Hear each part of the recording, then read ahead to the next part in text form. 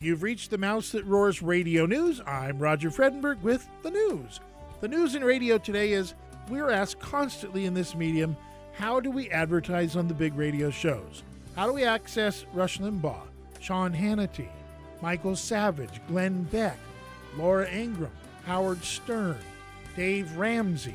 How do we buy advertising on the big websites like Breitbart.com, The Blaze, WND, Town Hall? How do we access Christian radio and Christian media like Michael Medved, Dennis Prager, or even Mike Gallagher?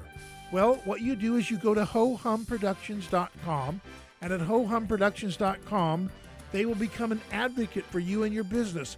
They will negotiate the best deals, the best rates, the best schedules. That's the news from the Mouse That Roars Radio News.